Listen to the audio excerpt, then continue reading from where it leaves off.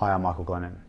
Today I want to talk to you about a company in the portfolio called Citadel Group. It's a very impressive small company that we've come across. It's got a $220 million market cap and it's had a very strong share price performance over the last 12 months. Uh, what's driven the share price performance is the company is growing well, it's got good margins and it's got an excellent board.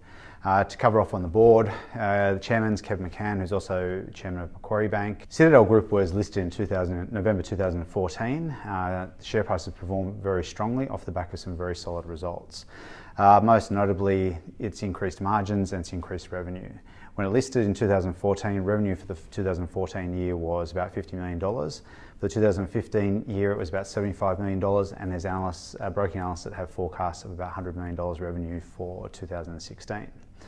Um, we're impressed with the company's margins. Uh, cash conversion is very good. Um, cash flow is strong. They pay a dividend. Um, Citadel provides uh, knowledge management and communication systems to large government organisations and uh, the military, as well as ha- having a good presence in the health sector.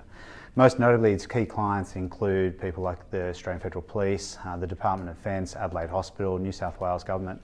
So they're very strong clients very immune from general economic conditions. So we've got volatile uh, equity markets at the moment. We like Citadel Group in that it has contracted revenues, they're long-term projects, um, and they've demonstrated an ability to increase their margins from those clients, which can be difficult to do, but just shows the level of expertise and experience they have in delivering the services that they deliver to their clients.